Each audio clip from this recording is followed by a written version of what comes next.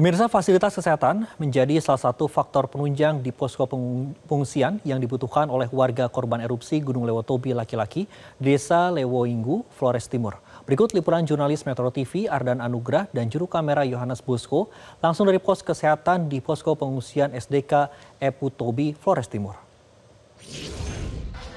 Ya pemirsa salah satu posko pengungsian baru yang dibangun bangun oleh pemerintah setempat yakni yang berada di Desa Lewo Ingu saat ini memiliki juga posko kesehatan yang di mana ini adalah posko kesehatan di uh, posko pengungsian Eputobi karena memang ini adalah lokasi sekolah SDK Eputobi. Kita akan coba lihat ke dalam pemirsa.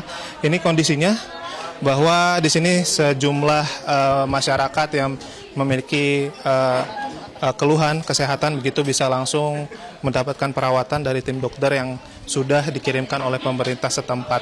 Di sini nantinya para pengungsi akan ditimbang kemudian didata dulu terkait dengan uh, kondisi kesehatan mereka di awal-awal. Mereka juga akan ditanyakan ada keluhan apa saja oleh tim dokter yang ada di sini kemudian nantinya mereka akan mendapatkan perawatan-perawatan secara intensif.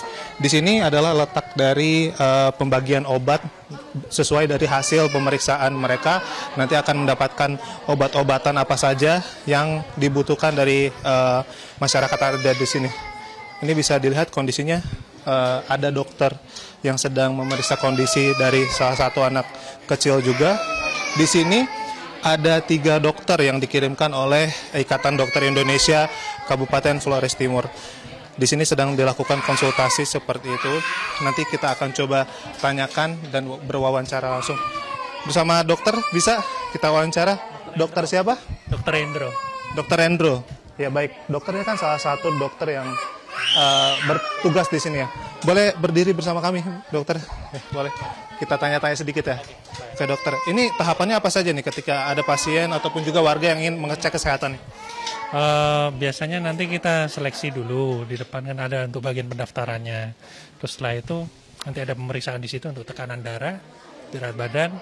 Setelah di data-data untuk apa keluarnya baru dikirim ke dokter untuk pemeriksaan lebih lanjutnya. Setelah itu kita resepkan baru ke bagian apotek di sini untuk pengambilan obatnya. Total yang berjaga di sini dari tim dokter ataupun juga tenaga medis lainnya ada berapa orang ya Pak?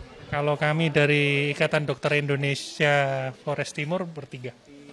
Tiga, tiga dokter karena yang lain kan dibagi. Ada di Puskesmas Lolaga, ada di Posko Bokang, ada Posko Konga. Jadi sudah dibagi beberapa. Seperti itu. Baik, kalau mayoritas uh, penyakit yang akhirnya dikeluhkan oleh para pengungsi yang ada di sini, mayoritas penyakit apa saja sih Pak?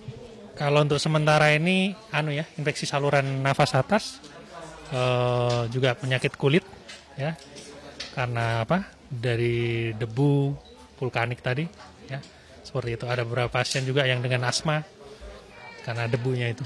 Oh, penyakit lain seperti uh, hipertensi atau diabetes ada nggak sih pak? Uh, kalau itu bawaan ya, jadi memang metabolik mungkin sebelumnya sebelum bencana memang sudah biasa dengan apa kondisi hipertensi, diabetes ada beberapa pasien juga. Terakhir Pak, kalau untuk anak-anak sendiri mayoritas yang dikeluhkan nih apa saja nih Pak?